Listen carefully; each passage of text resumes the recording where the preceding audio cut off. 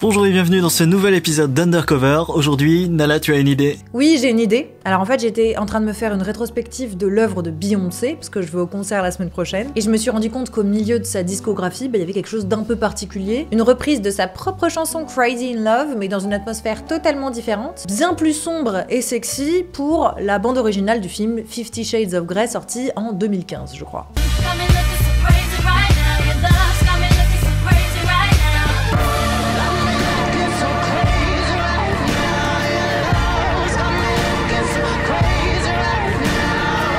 Coup, j'ai eu envie de bosser sur ce genre de réécriture en prenant le morceau le plus joyeux possible et en essayant de le transformer en un morceau hyper triste. Et quoi de plus joyeux que Hey Jude des Beatles? Ça me semble une super idée, je vais sortir ma casquette de compositeur. Bon alors je vais réécrire la trame harmonique et mélodique en modulant tout en mineur, en prenant quelques libertés pour que ce soit bien personnel et introspectif. Je vais prendre ma voix la plus tragique et Raoul s'occupera de l'arrangement pour donner une ambiance cinématographique au tout. Donc c'est parti pour les explications. Mais avant de commencer, générique bien sûr.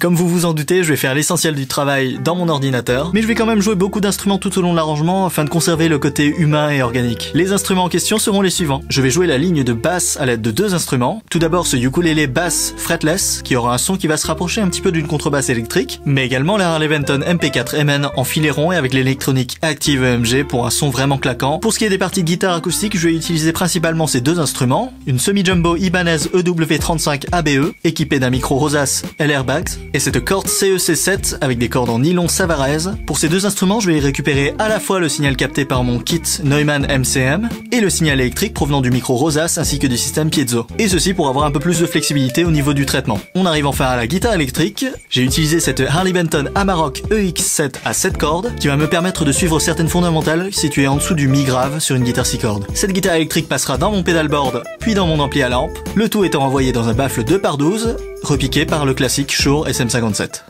Bon, malheureusement, quand on veut transposer un morceau majeur en mineur, il suffit pas de prendre tous les accords et de les mettre en mineur, c'est un poil plus compliqué que ça. Il y a des choses qu'on garde et il y a des choses qu'on change, et puis il y a toujours une part de composition personnelle, sinon c'est pas marrant. Donc voici la grille de base pour le début de la chanson. Et voici ce que j'ai réécrit pour que ça fonctionne avec la mélodie en mineur. Donc j'ai rajouté quelques petits mouvements mélodiques pour bien relier les accords entre eux, et retrouver un petit peu cet effet d'écriture classique qu'on associe beaucoup à la musique de film. Et en seconde moitié de phrase, j'ai aussi créé une petite harmonique pour descendre dans la douleur pour aller retrouver l'accord majeur du sol bémol qui va sonner comme une belle note d'espoir qu'on va bien évidemment très vite tuer avec l'accord du sol demi diminué qui va nous servir de pivot pour retrouver le cinquième degré du do majeur nous ramenant très naturellement au fa mineur, notre tonalité. Donc oui, c'était pas forcément nécessaire, mais c'est vrai que ça vaut le coup pour donner un vrai aspect tragique à notre progression harmonique. Donc tout au long du morceau, j'ai réadapté la mélodie et l'harmonie de cette manière-là, et je vous laisse découvrir les autres sections directement dans la cover pour plus de suspense. On bascule dans mon ordinateur. Bienvenue dans l'interface de mon logiciel d'enregistrement, Logic Pro 10. En termes de dynamique, j'avais une idée assez claire en suivant le piano de Nala, à savoir un travail sur les textures avec des nappes orchestrales assez subtiles pour lesquelles j'ai utilisé le logiciel Augmented Strings de Arturia, ainsi qu'un ensemble de samples que j'ai créé à partir d'enregistrements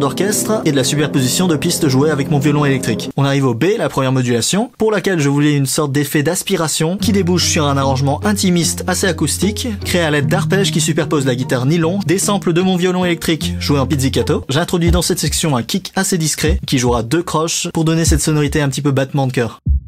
On continue sur deux sections couplées, où je poursuis avec ce motif de jeu en arpège, cette fois-ci en utilisant le sampler Photosynthesis de Audio Imperia. Sur le second A, j'introduis la guitare électrique, qui arrive par vague et qui crée des nappes de réverbération. On arrive au C, qui sera l'outro épique et qui aura une coloration un peu plus industrielle. J'ai donc utilisé la banque de batterie Classic Rock de Gatewood Drums, que j'ai malmené et saturé à outrance en utilisant des plugins Soundtoys. Je lui ai superposé quelques boucles de percussion et on obtient ceci.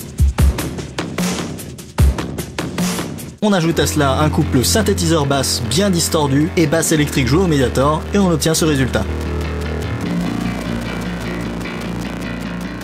Alors ce qui est magnifique dans cette chanson, c'est qu'en la passant en mineur, le sens des paroles va un peu changer. Bon, pour un peu de contexte, en 1968, John Lennon quitte sa femme Cynthia Powell pour se mettre avec la célèbre Yoko Ono. Et leur fils Julian, issu de son premier mariage, est très triste. Paul McCartney, alors témoin de ce gros changement dans la vie affective de son collègue et ami, compatit énormément avec son fils et décide de lui écrire cette chanson, Hey Jude, pour lui donner une chanson joyeuse à laquelle se raccrocher dans les moments difficiles et lui apprendre à voir le dans cette situation. Et du coup, en passant tout ça en mineur, on peut se dire que cette fois-ci, bah, on ressent la peine du point de vue de cet enfant qui a vu ses parents se déchirer et ça fait tout aussi sens. Bref, pour l'interpréter, j'ai essayé de pas mettre trop d'effets vocaux pour que ça reste authentique, un léger côté rock parfois dans les fins de phrases pour que ça ait du caractère quand même, mais en restant très clair avec un bon vibrato pour que ce soit bien expressif. Et à la fin, sur la section C, les na na na na na na, j'ai décidé de faire une petite harmonisation à trois voix de ce motif-là, dans un esprit un peu guerrier. Je me suis un peu lâché, j'espère que ça vous plaira.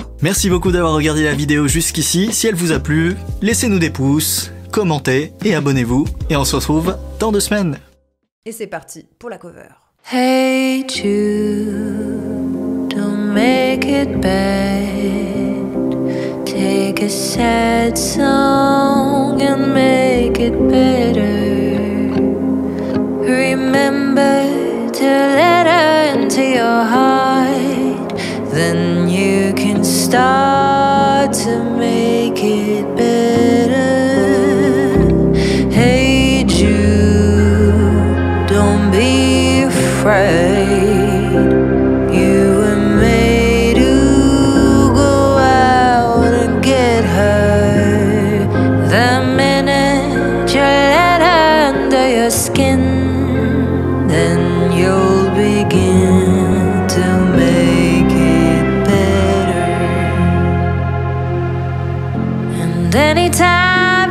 Feel the pain, hey Jude, refrain.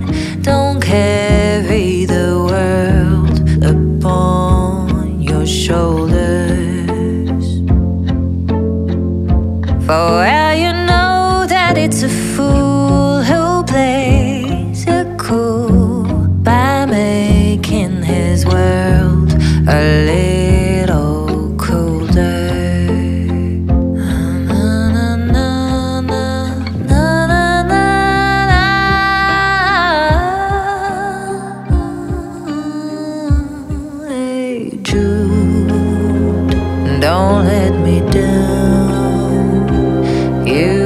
down, her